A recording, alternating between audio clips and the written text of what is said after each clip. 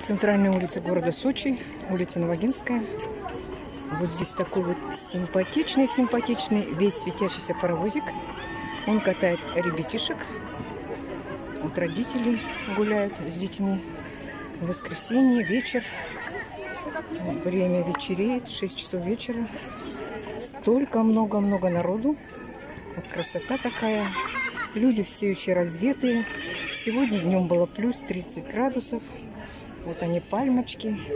Вот она центральная улица города Сочи. Улица Новогинская. И это в середине сентября.